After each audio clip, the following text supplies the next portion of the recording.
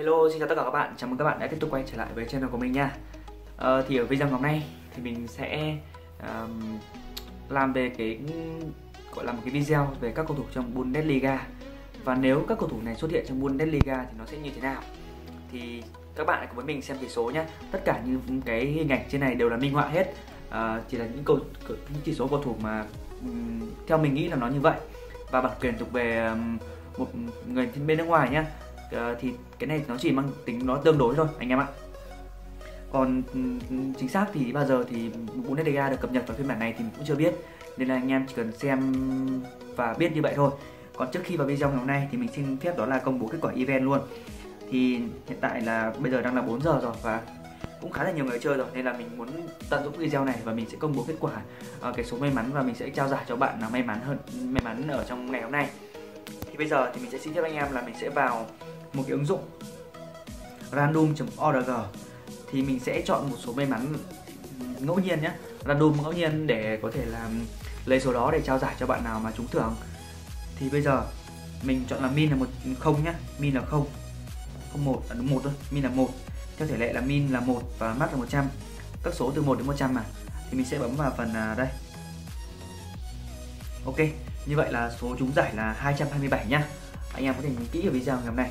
Đó là người trúng giải là người có số 227 thì tí nữa mình sẽ check tí nữa mình sẽ check và mình sẽ trao giải cho bạn nào có số như này. Và nếu không có nếu mà không có bạn nào trúng số như thế này thì mình sẽ chọn bạn nào gần số 227 nhất.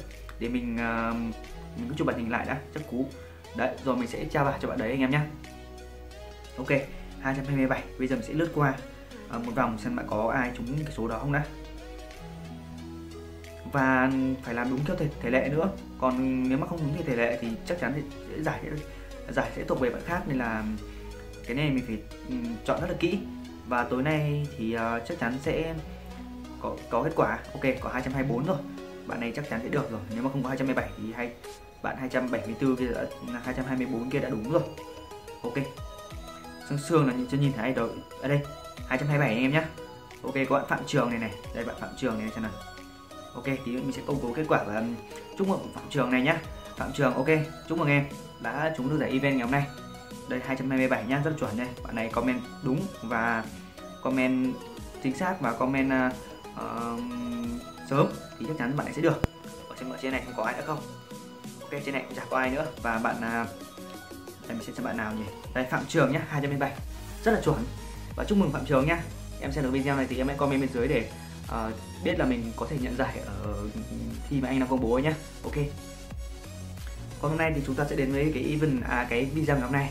Đó là các cầu thủ Bundesliga có tại sao lại không xuất hiện? Và mình sẽ tìm ra những cầu thủ Bundesliga có ở trong phiên bản này. Hiện tại thì nó chưa hoàn thành đâu nhưng mà mình chỉ review một số cầu thủ tiêu biểu à, dành cho anh em nào muốn xây dựng những cầu thủ mà ở thuộc giải Bundesliga. Thì có Erling Haaland này à, có Kingsley Coman này à, Thorgan Hazard này Witsel này Sancho này uh, Guerrero này hay là Berkey này. Đấy thì mình đấy là những cái tên tiêu biểu uh, mà các bạn hay sử dụng. Ví dụ là còn khá là nhiều ví dụ như là à, uh, Tolisso này uh, theo Hernandez này. Và còn nói chung là còn cũng khá là nhiều nhiều đấy. Còn nhiều nhiều các cầu thủ đang thi đấu ở Bundesliga. Nhưng mà đây là các cầu thủ mà đang thi đấu đang có mặt trong Bundesliga. Còn bây giờ thì mình sẽ tìm những cầu thủ nào mà à, bây giờ mình sẽ cho anh em là nếu những cầu thủ mà mà không có bản quyền ví dụ như là Lewandowski này, Neuer này, McConroy này, hay là Goretzka này, có các cột ừ, đội hình của các cầu thủ ở Bundesliga mà chưa xuất hiện thì nó sẽ như thế nào. Bây giờ thì mình với các bạn sẽ bắt đầu vào xem cái video này nhé. Ok. Đầu tiên sẽ là Leon Goretzka của Bayern Munich em nhé. Đây là một tiền vệ khá là hay của Bayern Munich đấy. Ok. Tiếp theo là cầu thủ đó là Nico Scher thì đây là hậu vệ cánh trái của Dortmund ok những cầu thủ mà anh em có thể biết ở Bundesliga. Và đây đó là Sange Gnabry. Thì cầu thủ này cũng đã từng thi đấu ở câu lạc bộ Arsenal và từng sang Việt Nam thi đấu anh em ạ. Tiếp theo đó là Julian Van. Đây là một cầu thủ trẻ à, cầu thủ trẻ của bóng đá Đức đang thi đấu ở vị trí tiền vệ tấn công. Đây là Julian Van. Đây là Thomas Muller thì anh em không còn xa lạ gì nữa rồi. Một cầu thủ mà chúng ta rất quen thuộc rồi Thomas Muller đây là Ginter là có trung vệ của à, câu lạc bộ à, uh, Mönchengladbach Tiếp theo Leroy Sané, cầu thủ vừa chuyển tới câu lạc bộ uh, Bayern Munich từ Manchester City anh em ạ. Còn đây là Martinez, uh, tiền vệ phòng ngự của Bayern Munich.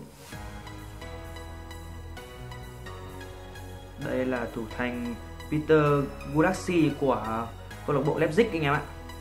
Những cầu thủ mà khá là nổi tiếng và phong độ cực kỳ là hay. Đây là McConroy thì anh em không có xa lạ gì rồi, có thủ điển trai và có tài năng cũng như là mọi thứ đều rất là ok. James Boateng, trung vệ kỳ cựu và trung vệ thép của câu lạc bộ à, à, Bayern Munich và đội tuyển quốc gia Đức. Còn đây là thủ thành Manuel Neuer, anh em cũng chẳng có xa lạ xa lạ gì với thủ thành này rồi.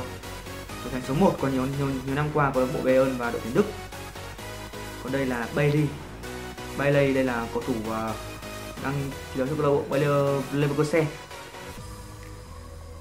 Đây là Philip Kostic, cầu thủ đang thi đấu ở vị trí tiền vệ cánh trái đây là Joshua Kimmich một tiền vệ phòng ngự khá là hay và là một trong những cầu thủ trẻ được mong đợi nhất của thể bóng đá của bóng đá bóng đá của hiện đại đây là Berardi hậu vệ à, tiền vệ cánh phải của đội tuyển quốc gia Đức. Đây là Matt Hummel Matt Hummel đang là trung vệ của câu lạc bộ Borussia Dortmund. Chỉ số 81 đây là những con chỉ số mà mình ví dụ thôi mà mình đoán như vậy thôi. Đây là Niklas Suller Niklas Suller trung vệ của Bayern Munich. Chỉ số khoảng 77 anh em ạ.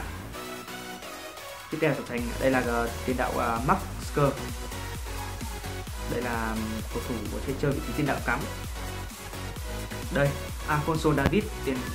Đây là mẫu vệ cánh đang, được định giá là đắt nhất của thế giới anh em ạ, Alfonso David. Đây là không ai khác nữa là Lewandowski, cầu thủ đã từng có mặt trong đội tuyển à trong The Mix Soccer 2021 rồi, nhưng mà đã bị xóa đi anh em ạ. Còn đây đó là Kramaric cầu thủ ừ, chơi vị trí tiền đạo đây là Alawit Alaguit của câu lạc bộ à, Bayer Leverkusen thì đội bóng ngưỡng. Ok.